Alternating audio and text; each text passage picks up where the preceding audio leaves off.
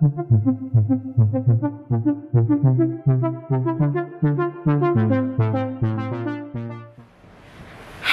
everyone! Kung may everyone na nanonood sa akin. Yes, Queen! Welcome to my vlog.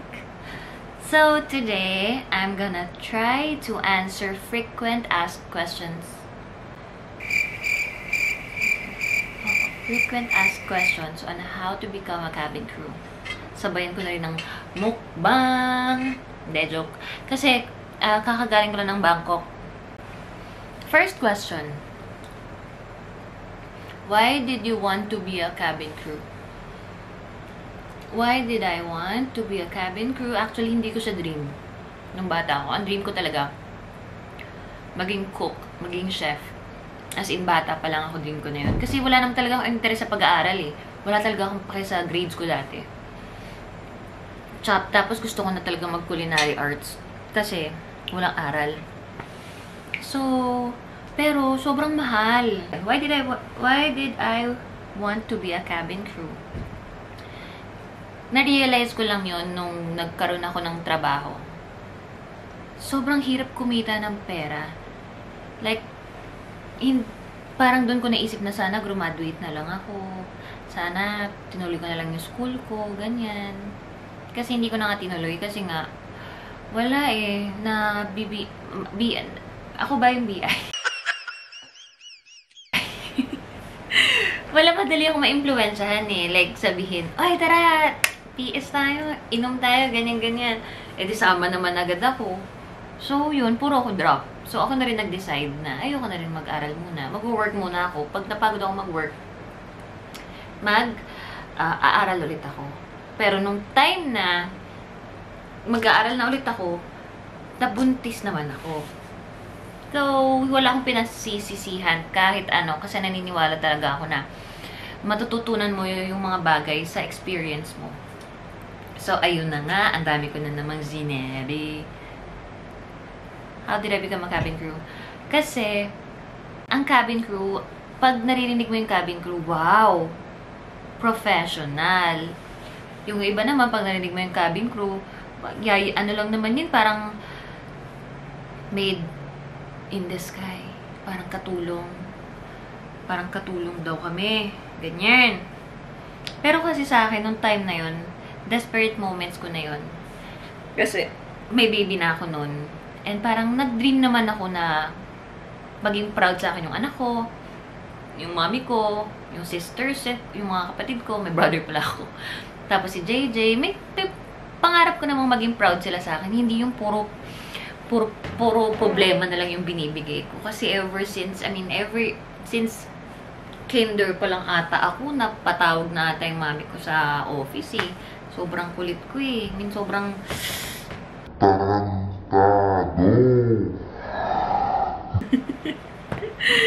Hanggang ngayon naman. Pero, mm, alam ko naman na yung tama at mali. So, ayun. Yun ang dahilan kung bakit gusto ko maging cabin crew. Gusto ko maging professional kahit papano. Kasi hindi ako graduate ng college.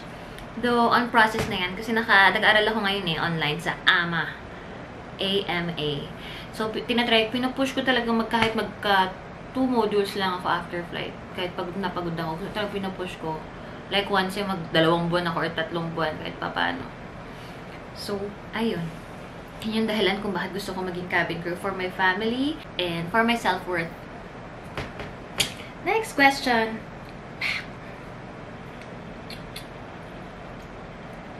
Requirements.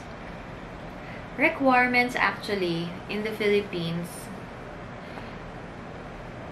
in the Philippines 5'3 ang height requirements nila. 5'3 ang height requirement. Ang Cebu Pacific ah hanggang second year college tumatanggap sila. Ngayon senior high school na eh, kasi parang second year college na rin yun. Air Asia, second year college din. Ang PAL, yun ang college graduate ang kailangan. So, dati naging Air Asia, ano ako, nag-Air Asia ako before. Two years ago, I think. 2017. Oo, two years ago. So, yung interview ng Air Asia nun, edi ang first nun, edi pila yun. Pila yun. ang una nun, skin test. Ah, skin test ba yun? Parang tinignan yung face, yung teeth mo, yung height mo, BMI mo, ganyan. So, pasok naman ako. Pasok naman ako. Edi go, push. Edi ang next step naman is group dynamics kung hindi ako nagkakamali. Da, pero dahil bibo nga talaga, bibo talaga ako. Sumayaw-sayaw ako, kumanta-kanta ako, lahat na ginawa ko. Well, ayun, okay naman. Tapos ang next, final interview na. Parang nag-ask na sila ng questions. Pero nung time na yon hindi ako nakuha. Hindi ako nakuha. So, umuwi ako nun. Sobrang lungkot ko nun. Parang, hmm, nag-grab pa ako ng mahal-mahal. Nag-makeup. Buong araw yun. Whole day as in. 7 a.m. hanggang 5 p.m. Hindi naman pala buong ha araw. Almost half day. So, nagpadyak na lang ako pa uwi nun eh. Tapos kinabukasan nun kasi birthday ni Baste. First, second birthday ni Baste. Sobrang na-depress ako nun. Every time na may rejection talaga, sobrang depressing. Pero, kinabukasan ng birthday ni Baste, nagtumawag sa akin yung HR ng AirAsia. Na ganyan, pumunta ako ulit, one interview ulit, ganyan. May nag-back out atang isa. interview daw ako ulit, ganyan, keme-keme, ganyan. So, hindi naman ako nag-expect na nun. Kasi nga, binigyan ako ng requirements list. Then, ayun, yun na. Tuloy-tuloy na yun. Hanggang nag-training na ako, umalis na ako for Malaysia. Then, ayun. Next naman, ang Cebu Pacific naman, nag-try ako ng Cebu Pacific. Sabi ko, syempre, siguro, kung nakuha naman ako sa AirAsia, may pag-asa naman ako sa Cebu Pacific nag-apply ako sa Cebu Pacific. Actually, maraming beses ako nag-apply ng Cebu Pacific. 19 years old ako. Ay, 18 years old ata ako. Um, yung uh, mass hiring yun eh. Naka, nakatatlong green card ako nun eh. Pwede na pumunta Amerika. Nakatatlong green card ako nun eh. Parang go signals siya every steps. Tapos nung final interview na, as in parang asang-asa na naman ako, girl. Kasi parang ilan na lang kami nun. Pang, parang less than 40, ganyan asang-asa na naman ako. Tapos, ang nakausap ko nun si Miss Cha. Basta yun yung nag-interview sa akin nun eh. Sabi niya, you're still young. You're, you still have a lot of uh, things to to learn, ganyan-ganyan, and understand, ganyan-ganyan. So, ako, tinanggap ko naman yun, pero sakit-sakit sa akin nun, kasi parang, unti na lang, may, may mali ba akong word na nasabi para hindi ako makuha ulit. Ay, hindi, I mean, first time ko pala mag-apply sa SEPAC na. First time ko mag-apply actually sa airline. Tapos, ayun, ayoko na mag-apply nun. Hanggang sa nag-try ulit ako. Sino man, hype pa lang, hindi na ako ulit nakuha agad. First stage pa lang yun ah. Hindi na ako nakuha agad. So, sabi ko, ba't nung ganun, lumiit ba ako? Kasi nung una, nung una ko naman, nakapasa naman ako.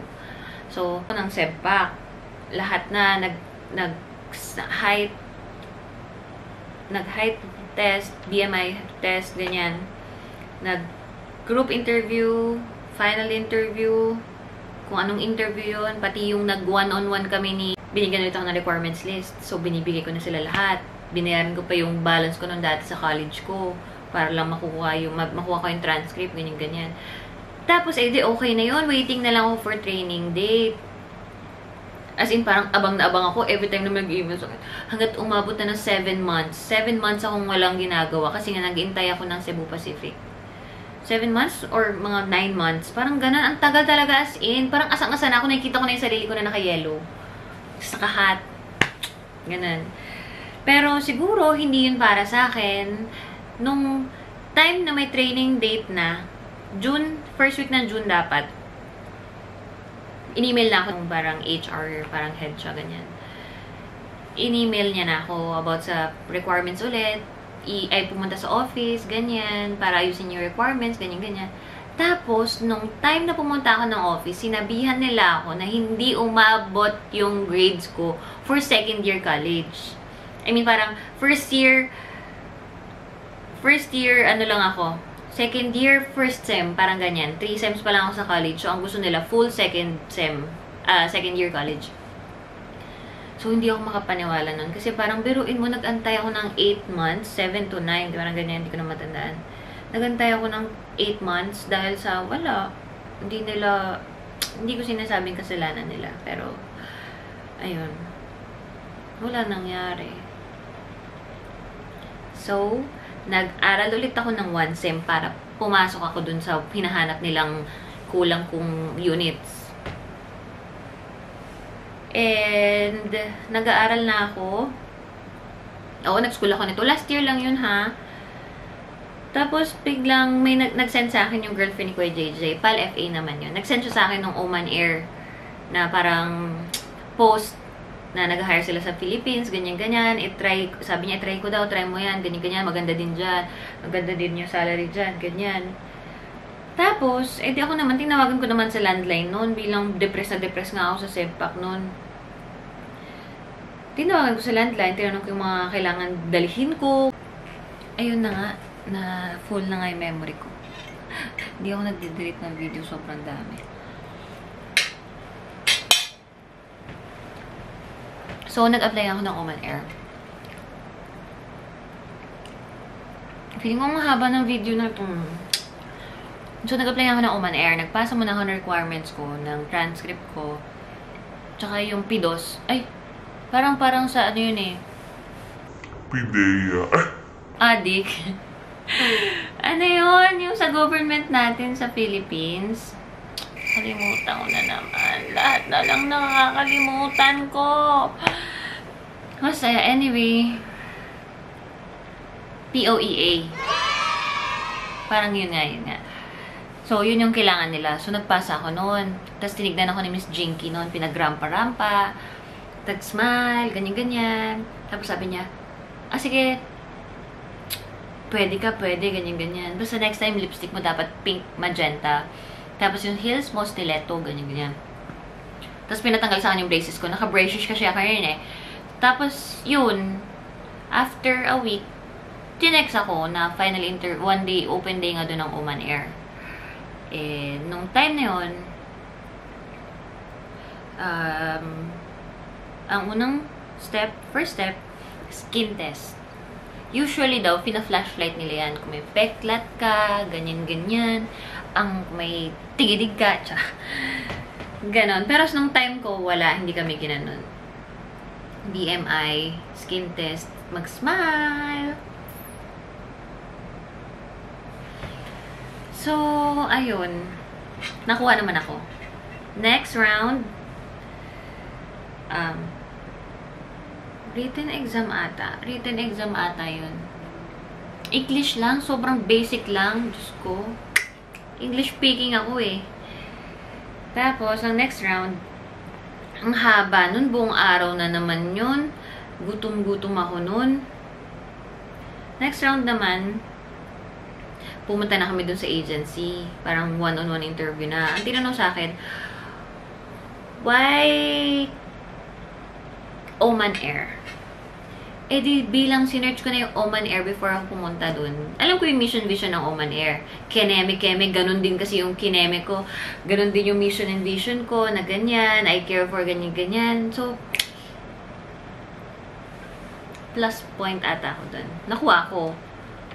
Binig ay, actually, hindi ko pa pala alam na nakuha ako. Binigyan lang ako ng swimming test paper. Actually, hindi ko pa alam kung makukuha na yon para kang tumaya ng loto, may hawak kang papel. Hindi ko alam kung nakuha na ba kami or hindi. So, dahil sobrang late na, no? 9pm na yun. Isipin mo, 8, 7am nandun na ako. 9pm na kami natapos. So, ayun. May swimming test ako, swimming test paper. Eh, yung mga babae sa unahan, kasi medyo madami din pa kami, parang 40 pa kami. From 400 pa kaming applicants, parang gano'n 400 applicants, 500. From 500 to 400, naging 30 to 40 na lang kami. Yung mga babae dun sa maharapan, ang iingay. Parang sabi, Ay, be! Pag may ganito kang paper, kuha ka na, ganyan-ganyan. So, every time na may lumalabas, medyo ganda. Ay, makukuha na nga yung mga ganyan. Kasi may, ano, may swimming test form na. Kasi sa Oman daw gagawin yung swimming test waiver. Tapos nung ako na, yun na nga sobrang kinakabahan ako. Tinitingnan ko pa kung may papel ba silang kukunin. Kumuha ka ng papel. Actually, hindi ka talaga ina-expect na makuha ko nun. As in, ito yung least expected ko na mangyayari sa buong buhay ko.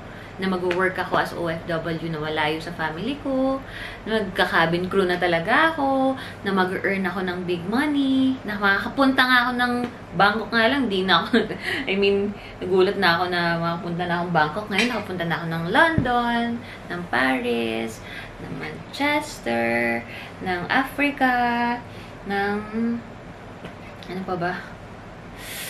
The Africa, Africa. Yung mga, mga ganun. Tapos, ayun, awa ng Diyos na may paper din ako. Binigyan din ako ng paper. So, sinabi ko, ah, makuha na nga itong may mga paper. Minessage ko kagad yung ate ko, yung girlfriend ni Kuya JJ. Sabi ko, oh, yun o to. Pinicturean ko. Sabi niya, oh, wait lang, tatanungin ko dun sa nakilala kong taga dun. Si Miss Erica nga. Sabi niya, sasabi ni Miss Erica nun, ay, oo, oh, miss. Kasi nga, senior niya sa Sepak. Sabi niya, ay, oo, miss, pag yung may ganyan, kuha na yan, sure na yan, ganyan-ganyan. Naiyak-iyak na ako nung time na yun. Kasi natatakot ako, baka mamaya mag-expect na naman ako, high hopes na naman ako, pero hindi naman pala makukuha. So, everything, sobrang okay, walang kahit anong problema. Mapa-medical, mapa-requirements, wala, clean.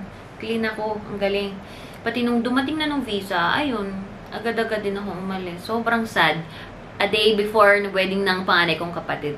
Uh, two days before naman siguro. Parang ganun. So, ayun, kung paano ko na-hire ng Oman Air. Training kami dito. O, hindi rin biro yung training namin, ah. Kasi, mahirap din kahit papano. Kailangan memorize mo lahat ng mga drills Paano nga kasi pag may emergency sa aeroplano, sino lang ba ang gagawa kung hindi kami? First aid, bilang ako, hindi nga ako mahiling mag-aral. Pero grabe aral ko nung time na yun.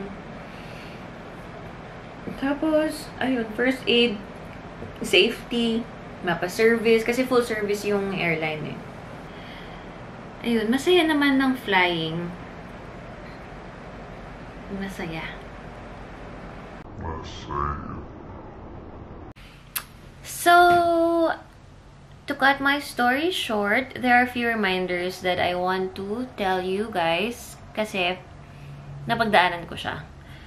First, huwag mong papabayaan yung school mo. Andyan na yan, no? May opportunity ka, may pera ka, may pang-enroll ka. Tapos mag, mag gigimik-gimik ka pa, pasaway ka pa, drop ka pa, wag mo nang i-take yung risk nun. Siguro ngayon, hindi nyo nafe-feel yun, hindi nyo alam kung anong consequences nun.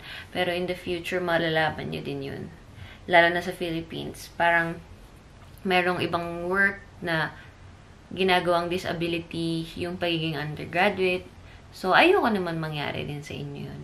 Second is, um, don't give up. Ako never ako nag-give up. May mga times na pag-give up na ako kasi parang parang like kong question sa para sa akin ba talaga to? Ano ba talagang plano sa akin? Ano ba talagang gagawin ko sa buhay? Kasi wala talaga akong idea. So, hindi ako nag-give up. Every time na nag-fail ako or may, may rejections ako, kumukuha ako ng mga lessons from there and tinatry kong um, baguhin yon para sa next kong gagawin. Like for my next interview, next um, whatever.